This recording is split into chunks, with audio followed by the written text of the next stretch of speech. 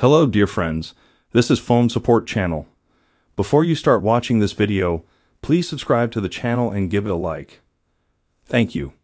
In this video, I want to show and tell you how to do screen recording on iPhone 13 Pro on either iPhone 13 or 13 Pro Max. How to do it? First, you turn on your iPhone. Unlock it. Next, pull down the curtain and see the button Screen Recording. If you don't have this button here, you can add it. To add this button, go to the iPhone settings and go a little lower, and find the item Control Center. Click here, then select Screen Recording. Click on the plus sign and add this function. Now exit here and open the curtain, and you see that the icon has already appeared. Click on that icon.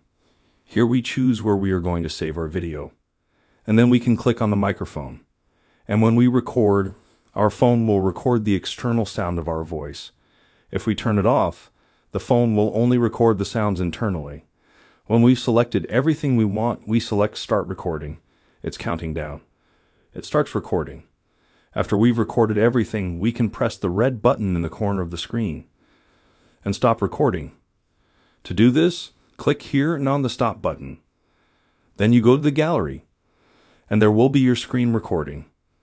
Done. Nothing complicated. If you like this video, put likes and subscribe to the channel. And also watch other useful videos on the channel. That was phone support. Bye. Bye. See you later.